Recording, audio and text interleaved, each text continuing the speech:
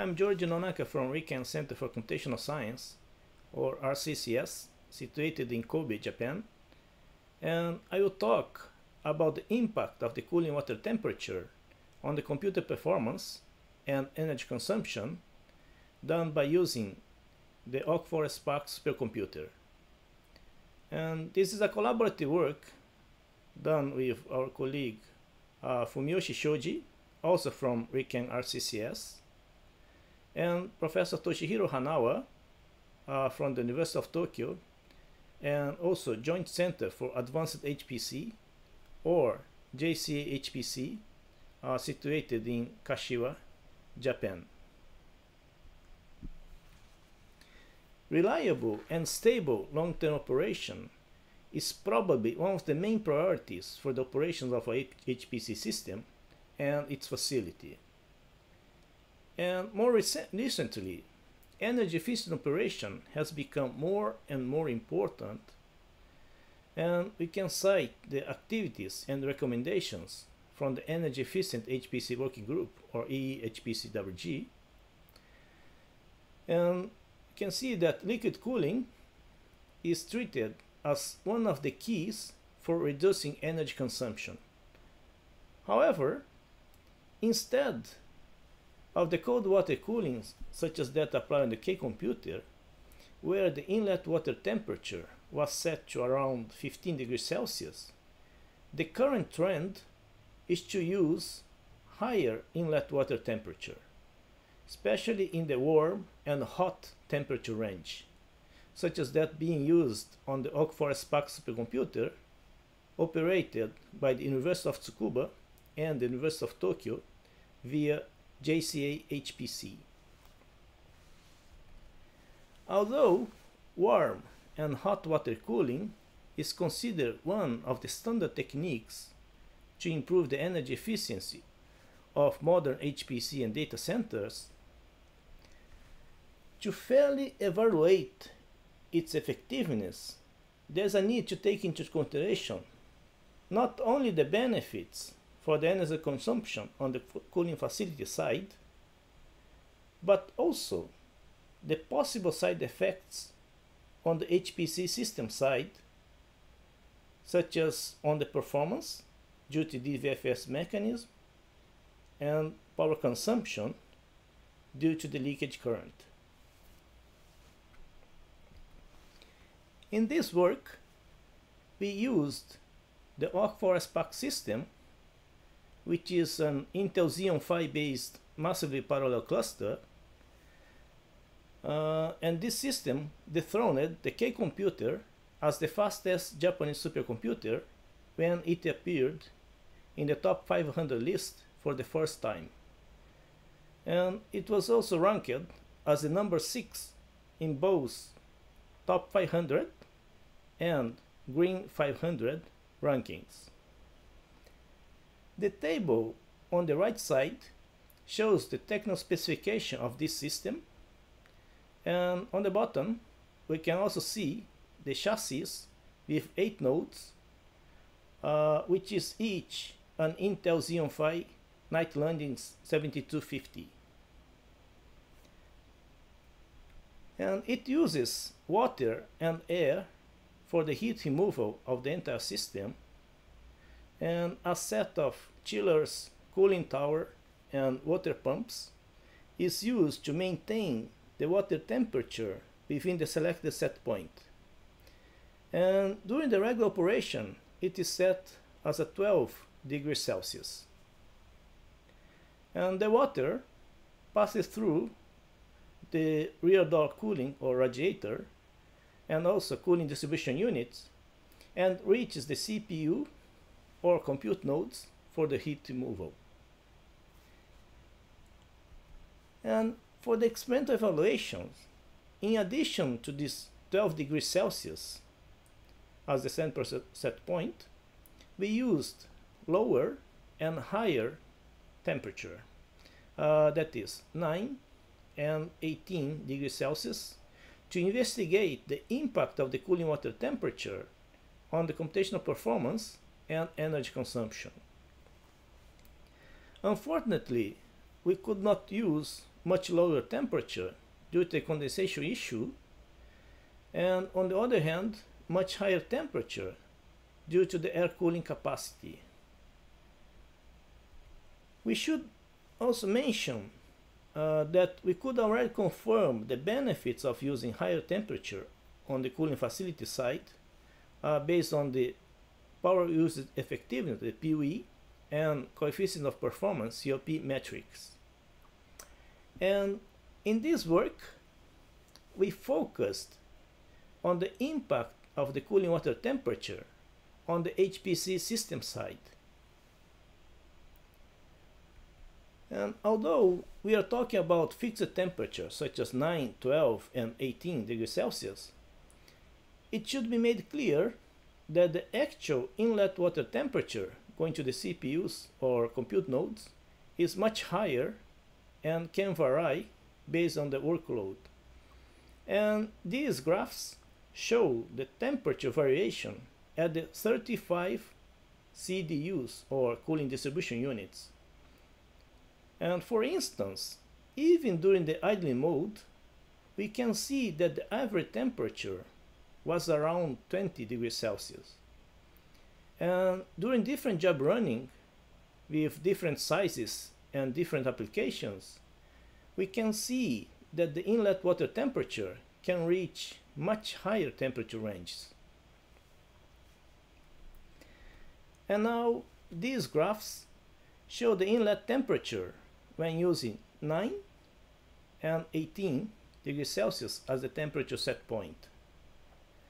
And the outlier plot with lower temperature compared to others is from the last CDU or cooling distribution unit responsible for the computer rack with smaller number of nodes. For this investigation, we used the shared memory version of the LINPACK benchmark from the Intel Parallel Studio XE.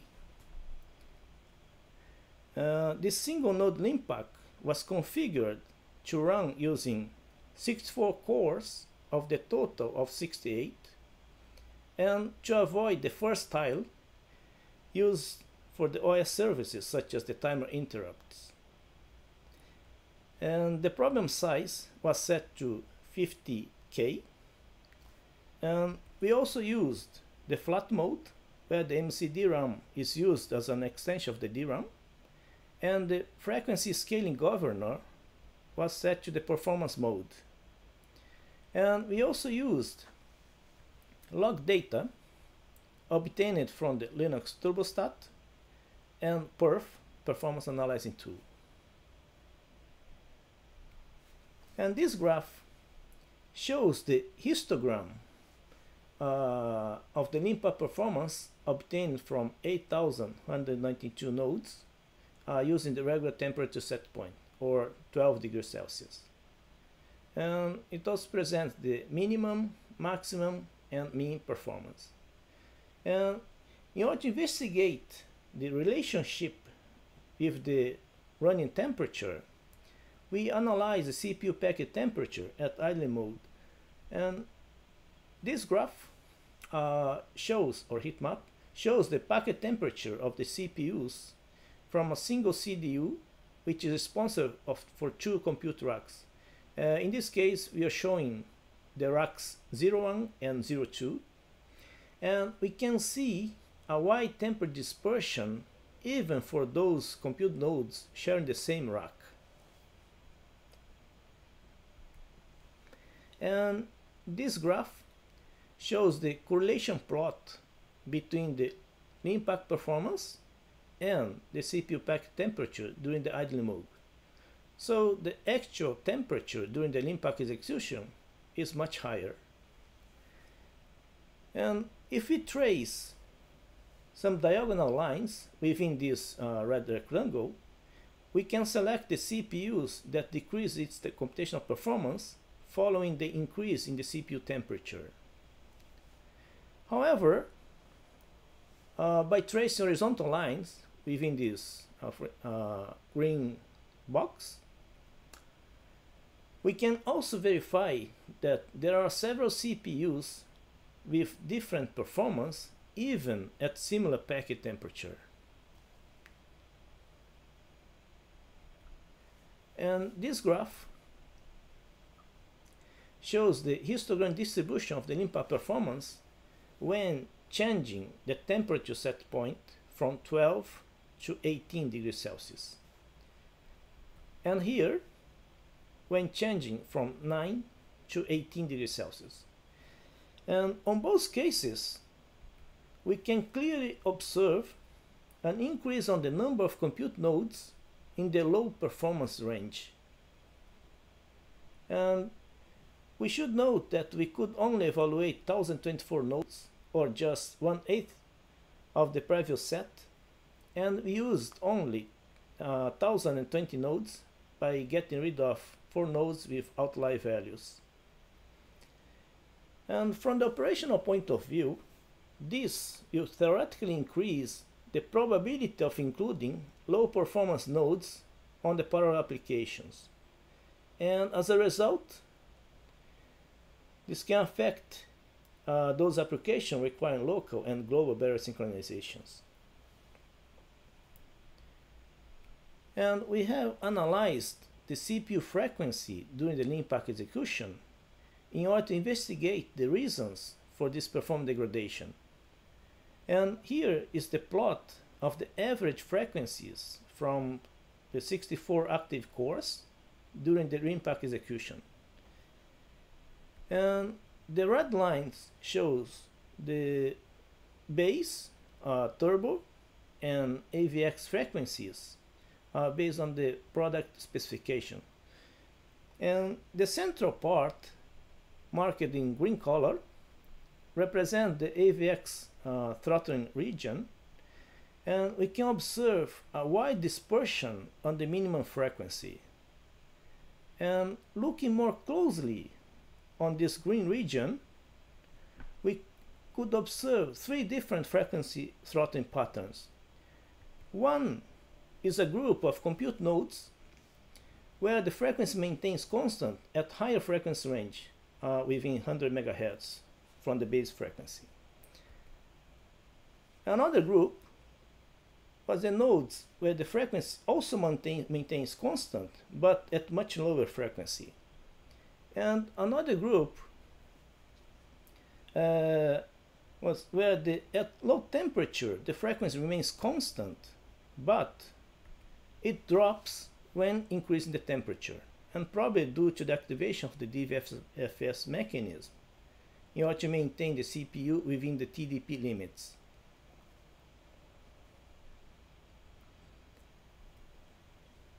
And by analyzing the effects on the energy consumption side, we could verify just a small variation on the nodes with increased energy consumption. And these graphs show the histogram of the CPU energy consumption when executing the LINPACK benchmark. And we also infer that this was related to the activation of the DVFS mechanism.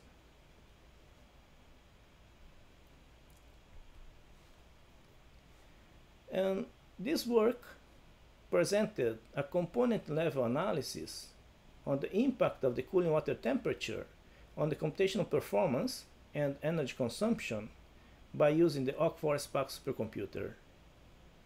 Although there are clear gains on the cooling facility side by increasing the temperature set point, from the operational point of view, there is a need to take into considerations the increase on the number of compute nodes which can suffer from performance degradation and may impact the overall, overall performance of the parallel jobs, that is, increasing the elapsed time.